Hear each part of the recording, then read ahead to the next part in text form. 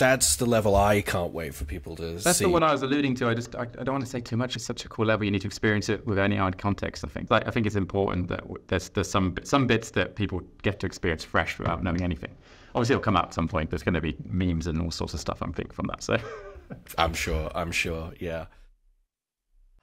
This time we wanted to do something a little different. One scene that's really stuck with me. It had me like switching between a manic grin and my mouth agape for the entire chapter. Of course, is "We Sing." Alan Wake One featured some songs and such, and Control obviously had Darling's Dynamite music video. But this is just you know above and beyond on every level. I'm desperate to know what went into making this. Was this scene always going to be in the game? What was the process of shooting it and designing it and choreographing it? we were me and Sam were joking about it. Like we should definitely do this type of thing in this game. Music's played a part in a lot of our games. Control with the Ashtray Maze. That was something that we were like, okay. And every project now after that, we're like, God damn it, how do we up ourselves on, on this one? Now like I say, and this is something that we kind of like we're toying with, and we're like, okay. Control was like an action game. So there's a lot of gameplay and action that's happening in around the Ashtray Maze as you're playing it. But because we're making a survival horror game, we were like, we don't have as much action or even as many mechanics like on the combat level that we did in Control. So we were like, okay, we want to do something like that, but because of our kind of like the way that our game is, we need to basically make this thing happen around the player. But there is more to it than meets the eye.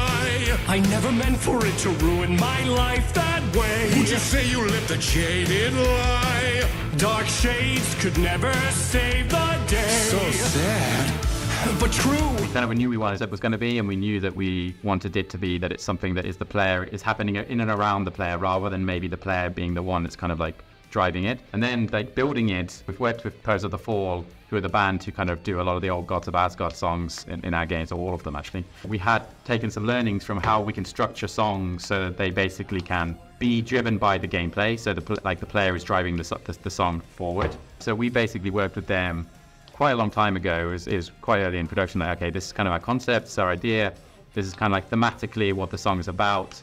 Then started working with our audio team to kind of break the song down. We kind of planned out from a mission flow. Okay, what's this sequence about? What's this section about? What's the next section about?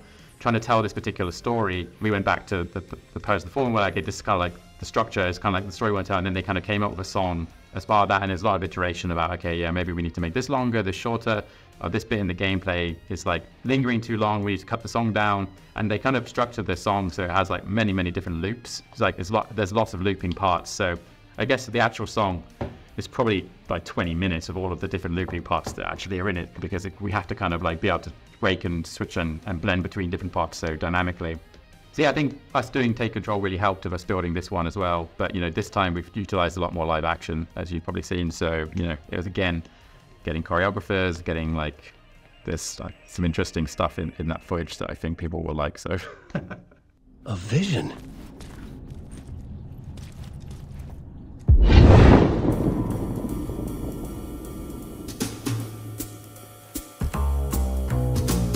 Such a dark place, am I trapped in here?